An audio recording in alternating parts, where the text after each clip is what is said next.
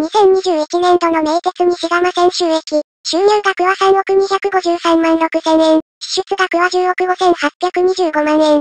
こちらの数値は営業外を含んだものとなります。営業外は、株などの受け取り利息や配当金、補助金が該当します。なお収支概要のうち、運賃収入額は実績値。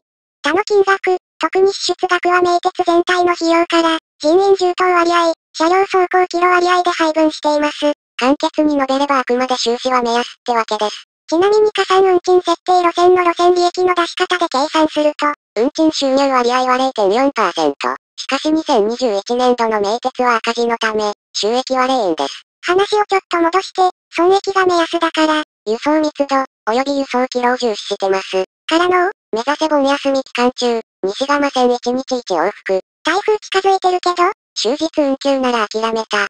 頭おかしいわこの人。